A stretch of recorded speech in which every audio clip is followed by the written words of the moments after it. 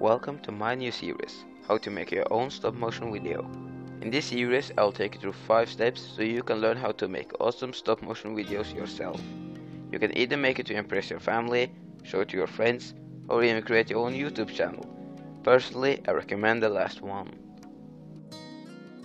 As I said, this series will be split into 5 episodes.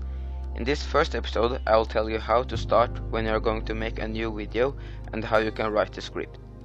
In the next episode, I will show you how you can create your own scenario.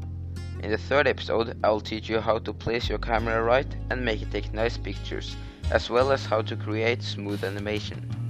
In the fourth episode, I will show you how you can put your pictures together with free softwares and make the overall video look the best as possible.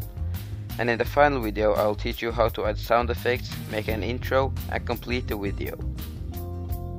When I have finished this series, I will launch a contest where you can submit your own stop motion video The top 3 videos will be shown on my channel and you will get a shout out. The number 1 winner will also get a friend request by me on Xbox or PlayStation.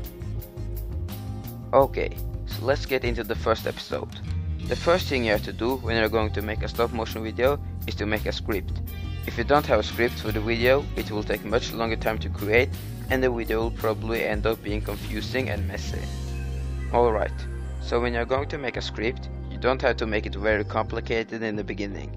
After you become more experienced, you can start making more advanced stories, but in the beginning it is best to keep it simple. That's what I'm going to show you in this video.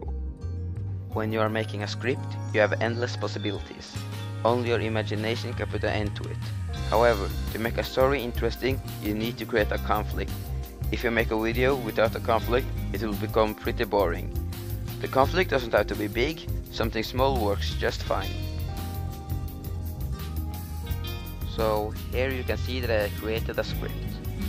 A Spartan drives down a road. Suddenly, an elite appears in front of him. The elite raises his carbine and starts shooting towards the Spartan.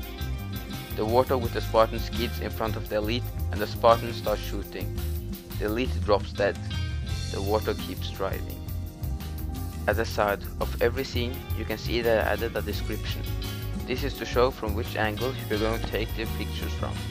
You don't have to do this, but it will make it far easier for you.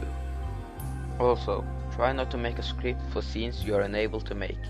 For example, if a character is going to enter a vehicle, you don't have to show that he actually enters the vehicle.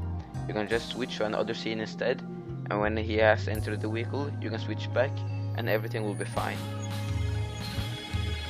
Alright, if you try to make a script like this, where you have a detailed description, it will be far easier for you to create your stop motion when you're going to start taking the pictures. I hope you have enjoyed this video. If you did, please leave a like, comment or favorite as it really helps me out. Feel free to watch some of my other videos. Thanks for watching. I'll see you next time.